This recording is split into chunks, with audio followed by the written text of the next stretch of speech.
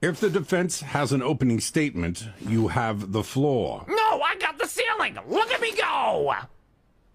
Mr. Cupman, please get down. No. Sir, I am prepared to hold you in contempt of court. Are you prepared to hold these nuts? Do you even have an opening statement? Do you even have these nuts? Uh, yes.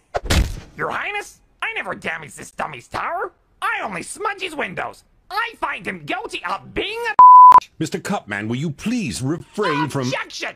You can't tell Suction Cup Man what to do! You cannot deny that you trespass on my tower almost every day! You cannot deny these nuts! I hate you! Probably shouldn't say that.